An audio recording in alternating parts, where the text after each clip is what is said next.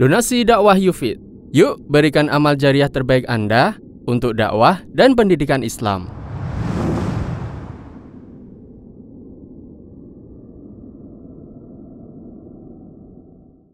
Orang yang sholat berjam, orang yang sholat subuh akan dijaga oleh Allah. Dan ini ah, saya mempunyai cerita kejadian nyata. Rasul Shallallahu Alaihi Wasallam bersabda dalam hadis riwayat Muslim dari Jundub bin Abdullah radhiyallahu anhu, "Man salata subhi fahuwa fi dhimmatillah." Barang siapa yang sholat subuh, maka dia di dalam lindungan Allah Subhanahu wa taala. Fala yatlubannakumullahu min dhimmatihi syai' maka Allah tidak akan pernah sekali-kali meminta dari kalian dari lindungannya sama sekali. Artinya tidak akan diambil oleh Allah Subhanahu wa taala. Siapa yang sholat subuh pada hari itu dia dalam lindungan Allah Subhanahu wa taala dan tidak akan dicabut. Pernah kejadian di Arab Saudi, teman saya naik mobil setelah sholat subuh dia langsung naik ke mobilnya dan kemudian ada orang Sudan pun keluar dari masjid.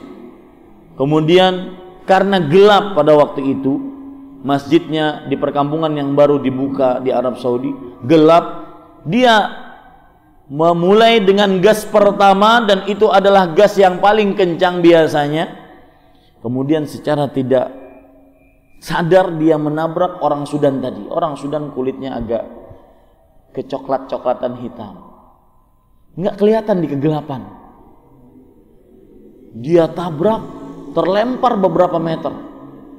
Teman saya langsung keluar, menghampiri orang Sudan tersebut, kemudian orang tersebut bangkit.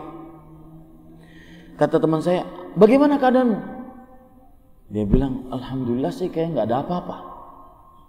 Kemudian tapi saya takut ada permasalahan di dalam per, di dalam internis saya, di dalam dalam saya, entah itu geger otak atau patah tulang yang tidak ketahuan.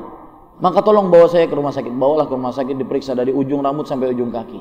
Selamat. Man sholat subha fahuwa fi dhimmatillah. Barang siapa yang salat subuh, maka di dalam lindungan Allah Subhanahu wa taala. Donasi dakwah Yufid. Yuk berikan amal jariah terbaik Anda untuk dakwah dan pendidikan Islam.